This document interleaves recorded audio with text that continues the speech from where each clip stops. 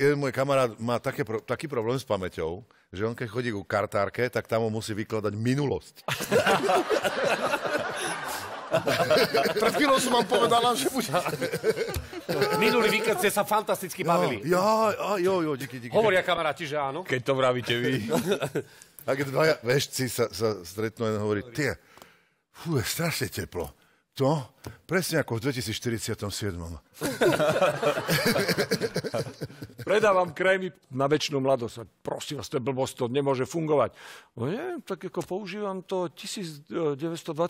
a ide to celkom.